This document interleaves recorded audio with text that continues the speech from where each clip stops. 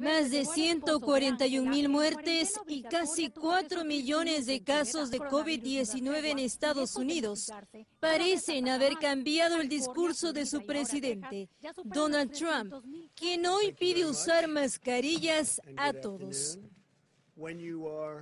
Estamos pidiendo a todos que cuando no puedan distanciarse socialmente usen una máscara.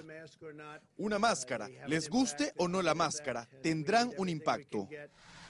Ya no insiste en que es una decisión personal, dice que es necesario porque la situación empeorará. Desafortunadamente empeorará antes de mejorar.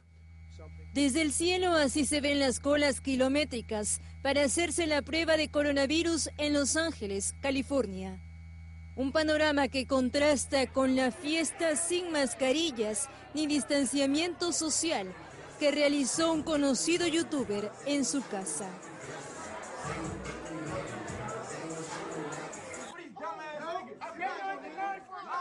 California se ha convertido en el segundo estado de Estados Unidos, después de Nueva York, en superar los 400.000 casos de COVID-19. Si fuera un país, sería el quinto del mundo con más contagios. Ya la semana pasada, el gobernador Gavin Newsom dio marcha atrás a sus planes de reapertura al ordenar el cierre de zoológicos, peluquerías, iglesias y otros establecimientos.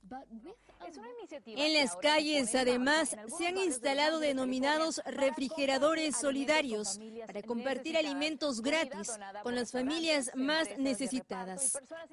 Vengo en la mañana y las refrigeradoras están casi vacías.